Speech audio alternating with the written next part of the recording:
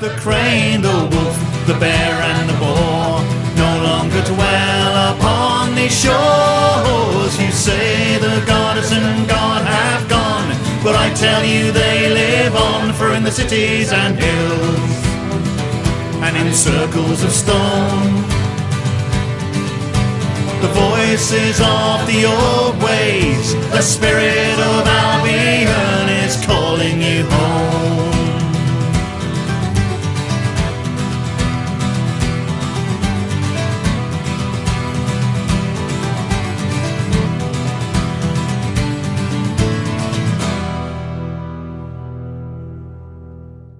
Hi, and welcome back to another edition of the British Pantheon. This is going to be the last goddess of the British Pantheon, hence the very last goddess that I have for the British Pantheon. If I did not mention your goddess or god during the British Pantheon, I am sorry. Um, I tried my best to get the main um, god and goddesses for the British. Um, I hope I did a good job. Anyhow, and again, um, I'm going to pronounce this goddess's name, but if I'm mispronouncing it, don't bite my head off. I try my best to pronounce it. I use translator to say it, and I know they don't do really, I know they don't really do a good go a good job all the time. And her name is Gelish. It comes from the Druid also, so the Druid tongue. So, um, anyhow, today is goddess Nutona, Nutona, Nutona is um, the Keeper of the Sacred Grove. I know we had a few Keeper of the Sacred Groves, but she is the main one. And she was used a lot in the Druid pantheons. So anyhow, with no further ado, here is Goddess Nutona. Tattoos on your eyes, a story not heard in the bright palace light can only be told as a secret of night. The girl in the garden and I. From a knife to a lantern and back, back again. She closes her eyes and weaves wonders. They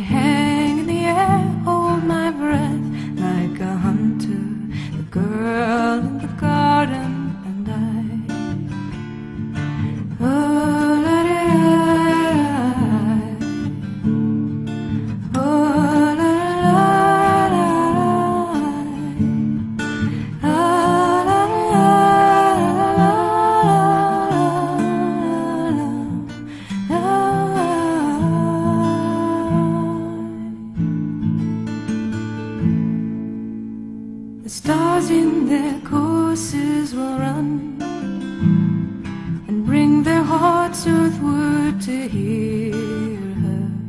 The boughs of the fruit trees bend nearer to the girl in the garden.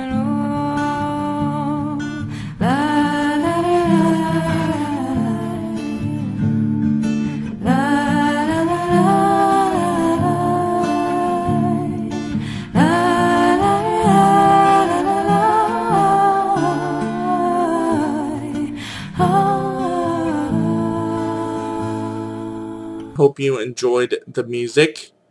Um, the music will be listed in the descriptions and also in the end of the titles. Um, it was called Girl in the Garden. I hope you enjoyed it. Now, Nutuna, that I said, that she was worshipped heavily with the Druids, and she is followed heavily um, once a year. A lot of people to get together, a lot of pagans get together at Stonehenge and worship her. On Lammas, on the Sabbath of Lammas. Um, they get together, they gather, and that's supposed to be the area of the sacred grove to some people. To others it's different. But being that of the sacred grove, she is goddess of four things. She is goddess of sacred space, spirits,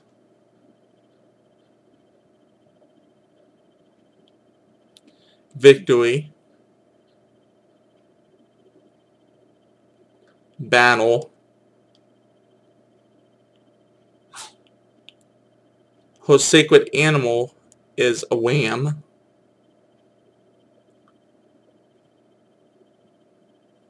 Her sacred color is purple.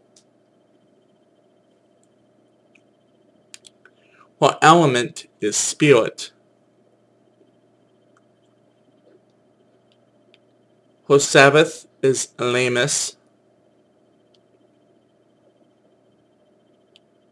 Her associated planet is Earth.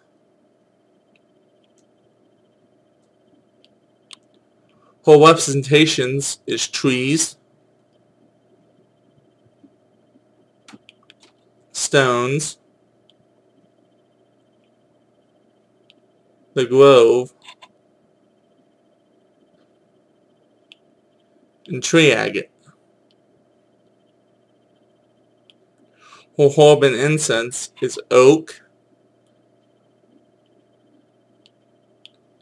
And again, a tree agate. Now, we would talk about whole, um, here we Her history is that she is really in love with one person, a god. We will get to him. But she is like the guardian. The sacred grove would kind of be like a meeting place of the gods. And she would be in charge of that. Kind of like, you know, you're in my home, so you follow my rules.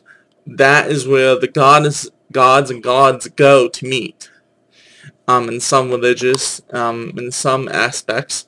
But in the British pantheon, the Celtic pantheon in general, that would be a Sabbath. Hence why they all gather at Stonehenge a lot. Um, goddess of sacred space, that would be nowadays your altar room. So if you need to cleanse your altar room and you you follow the British Pantheon, even if you don't, she would be a good one to call on. She's goddess of spirits. So if you have problems with some spirits in your house, she would be another good one to call on. Um, victory. If you want victory, like say sports, you play sports, that would be a good one to call her for. Uh, battle. Soldiers, if you're going into battle, and I bless you for doing what you're doing. Anyhow, I don't agree with the war. I do support our troops. She, or if you have a husband or a loved one overseas, she would be a good one to call on for battle to make sure that they have victory in battle. And those two go well together. Her sacred animal being a lamb. She always has a lamb in her pendant. The lamb, I don't haven't came across that animal much. So I'm not sure what the lamb represents really. But her sacred color is purple. And the reason purple is the color for spirit. And the reason that her color would be purple, not only because she is goddess of spirits, but also because her element is spirit. In spirit, the color is represented as purple. Some people would say that her element is air, because she's represented by a lot of candles. I didn't have that in the representations. I'm sorry I missed it um, but she's representing a lot of candles. So if you work with candle magic, that's another one to use her for. And her associated planet being Earth, which makes sense right there. Her representations, uh, again, representing a sacred grove of lots of trees, stones, you know, tree agate would be great to use, and it's easy to get trees were surrounded by them. Even if you're in the city, there are some trees. You could have a tree in your backyard or something, you know. Stones. And any stone will work for, basically.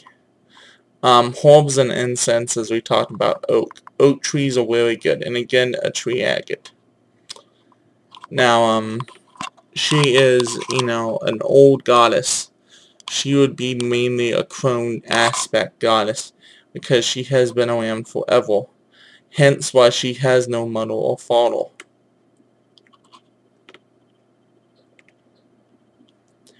Her wife, I mean, sorry, her husband, or lover, was the Shining One, God Loc Locus, like can't pronounce his name, but he was also known as the Thunder God, and I will list it below here.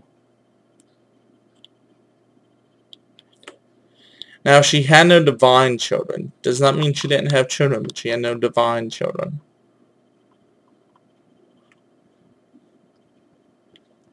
Well, that's it for Goddess Neptuna. Neptuna. Um, again, I'm sorry if the mispronunciation is wrong. Um, but anyhow, I hope, anyhow, this is the end of the Celtic pantheons in general and the end of the British pantheon.